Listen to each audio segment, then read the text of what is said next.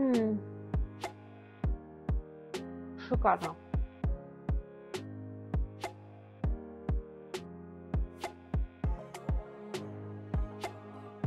Друзья, всем привет! Меня зовут Юля, вы на моем кулинарном канале Сладкий Персик, и сегодня мы с вами будем готовить муравейник без выпечки. Мы будем готовить не торт, а пирожное, но вы, в принципе, можете сформировать и большой торт, здесь как вам больше нравится. Это экспресс-вариант, так как э, десерт делается без выпечки, более классический рецепт я вам покажу чуть попозже.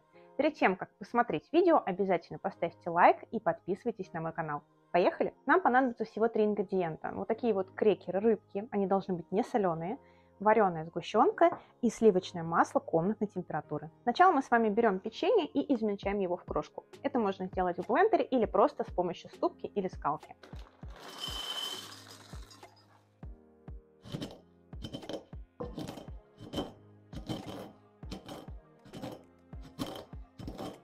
Такая вот примерно крошка у нас должна получиться. То есть она не сильно мелкая. Я поэтому решила измельчать руками, потому что блендер можно, может перестараться, и крошка получится сильно мелкая. Нам нужна вот такая.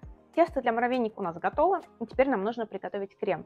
Для этого мы просто смешиваем вареную сгущенку со сливочным маслом комнатной температуры. Я это буду делать с помощью вот такого вот миксера, точнее насадки миксера. Так, нам понадобится где-то примерно половину банки.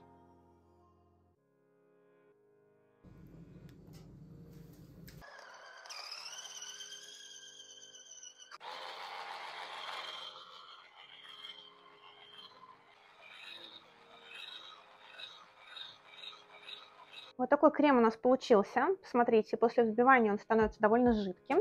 И теперь мы просто добавляем крем к нашему тесту.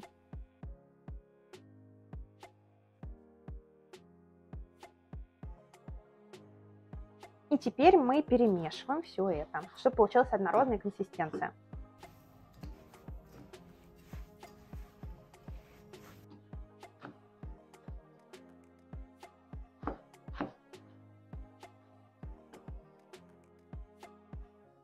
Смотрите, вот какое тесто у нас получилось. И теперь мы начинаем формировать пирожные. Если вы хотите сделать один большой торт, эта вся масса просто выкладывается в форме муравейника на блюдо.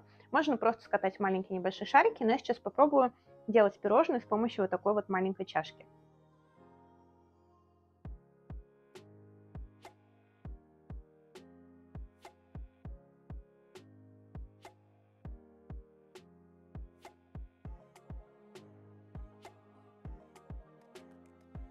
Смотрите, мы укладываем тесто и вот так вот ложкой слегка утрамбовываем, чтобы у нас не было там никаких некрасивых отверстий. Сильно не нужно, но вот так вот разровнять все-таки стоит. Ах. Красота. Посмотрите, какие классные у нас получились пирожные. Но пока их есть нельзя, сейчас мы их убираем в холодильник хотя бы на час. Лучше на два, можно оставить на ночь, и потом польем их растопленным шоколадом. Наши пирожные поставили в холодильнике, и теперь нам нужно полить их шоколадом. Я буду использовать вот такой вот шоколад. Бренд может быть любой, главное, чтобы он был без добавок. Просто молочный шоколад или просто горький.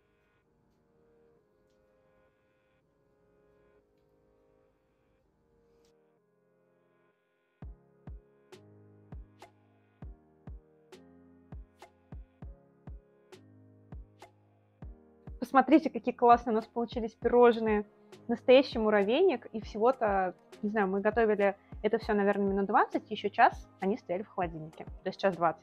Это очень вкусно. Давайте быстрее попробуем. М-м. Шикарно. Просто. У меня пирожные всего час постояли в холодильнике, но они уже пропитались. Если сначала я пробовала, они были такие жестковатые, то сейчас они уже очень сочные. Думаю, что если они постоят в холодильнике еще час, будет просто идеально. Я вам очень советую приготовить такие пирожные, такой муравейник или даже сделать торт один, если захотите. Когда к вам вдруг случайно нагрянули гости, у вас нет сильно много времени возиться на кухне. Мой оператор уже очень сильно хочет попить чай с пирожными, я вижу по его глазам. Поэтому давайте прощаться, пишите ваши отзывы на рецепт, ставьте лайк и подписывайтесь на мой канал. Пока!